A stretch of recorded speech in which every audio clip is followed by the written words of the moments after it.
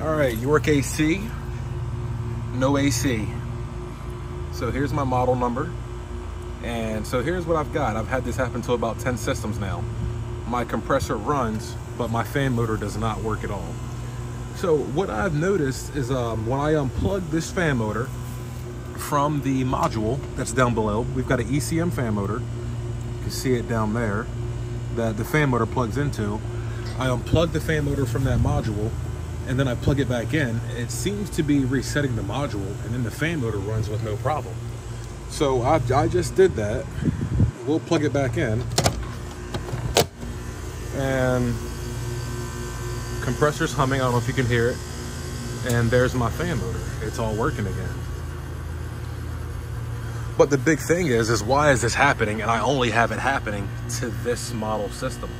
YC2F 24SB21SA.